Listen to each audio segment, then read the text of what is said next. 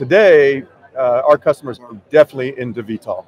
So fixed wings, kind of a thing of the past, not totally, um, but they want to be able to launch and recover from a small area. Vector, you can do it in a three by three meter area. Right. Um, they also wanted to fly autonomously. So the, one of the trends is getting away from pilots and having operators. Operators. Okay. Um, so they, you know, our training classes typically run four days, uh, whereas others may run two weeks uh, to get somebody up to speed.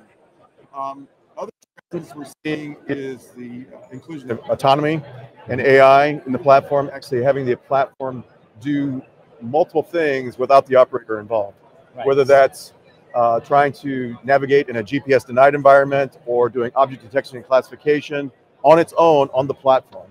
So, um, so it's all about reducing the load from the operator Correct. and, and may, like allowing them to focus Correct. on the decision making rather than controlling That- the airplane. right? Totally correct. And also distributed operations where uh, we're basically beaming information out to distributed operators.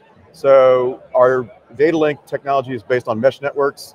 It's just basically the number of nodes in the network. And you can you don't even have to be an operator to see the imagery from Vector. Okay. So that's a, that's a big plus. Um, I'm giving a talk later today on eVTOLs and autonomy and, and AI, um, which is kind of near and dear to my heart. Uh, I think that's going to become more and more the trend of these platforms act as intelligent agents as opposed to being, you know, the operator teleporting into the platform. Right. Right.